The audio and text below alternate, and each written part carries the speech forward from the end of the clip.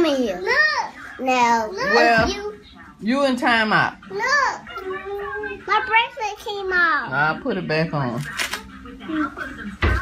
You in timeout. It's no excuses. Say honey. you supposed to be back in timeout. I didn't say get out.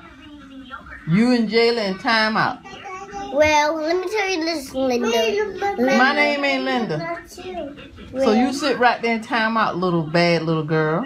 No, let me tell you something. No, If don't tell I, me. if I wasn't here, I would surely take a day off from you, You- and then a day off from these kids.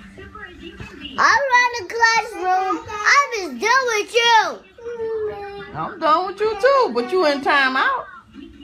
Oh, let me tell you something, honey. This is not gonna leave. You gonna be in timeout. Oh, That's why you in timeout right I'm now. sick still. I think so. Well, when I get up out of town and go to bed, I will be glad to go home and enjoy rest of my life. And I complete quit school because all of you.